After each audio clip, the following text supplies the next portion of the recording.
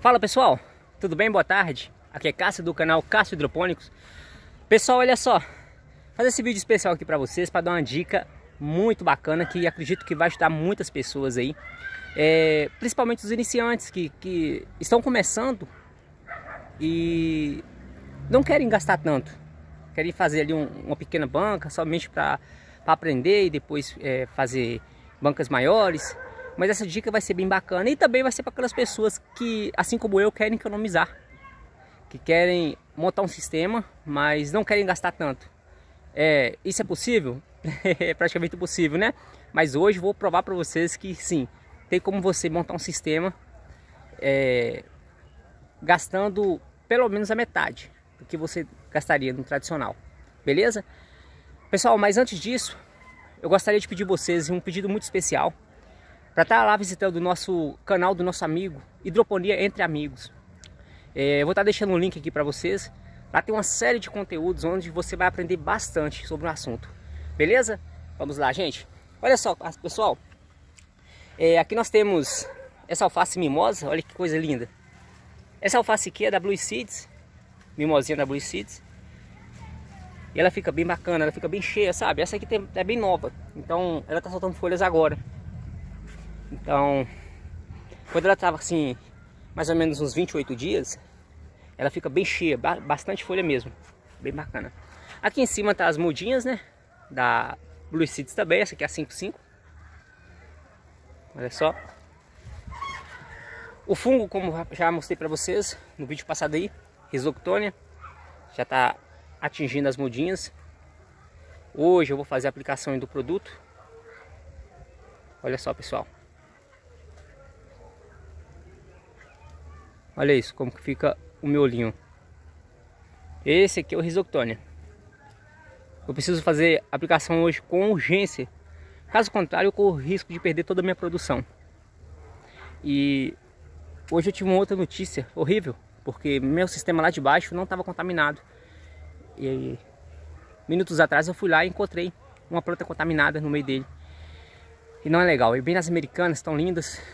Então fazer essa esse controle hoje sem falta. Já até preparei ali o reservatório. Mas vamos lá, pessoal, sem enrolação, vou lá mostrar para vocês. Como vocês sabem, eu utilizo o retorno e ali eu montei uma banca, né? Aproveitando o retorno, coloquei as mangueirinhas. E a dica é o seguinte: como você montar um sistema para economizar, cortar o gasto aí pela metade. Olha só, pessoal, é bem simples. Utilizando forro PVC. Forro, PVC mesmo, tradicional. Como que funciona aqui? O forro PVC é 20 centímetros. Minhas unhas estão tá bem sujas porque tá mexendo com terra. 20 centímetros o forro PVC, certo? Aqui eu pego ele e parto ao meio. Ou seja, fica dois, dois lados.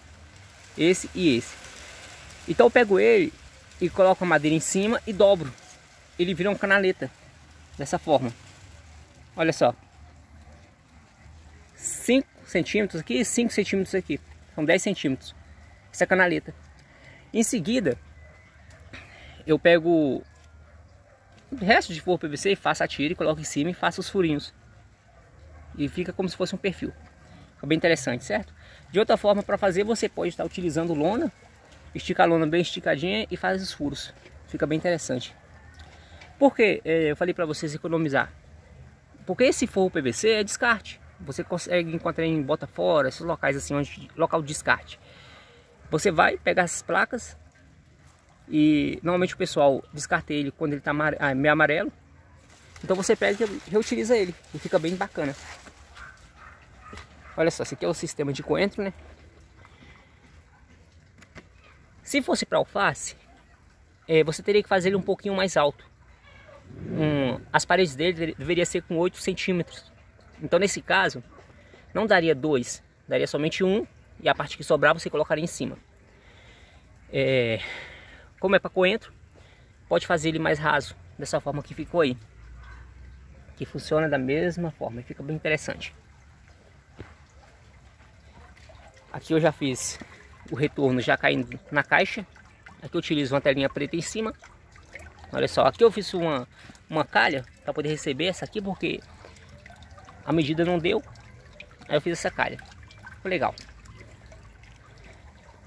E ficou bem bacana porque esse, esse pequeno espaço aqui é, tem mais ou menos 200, 200, 450 furos.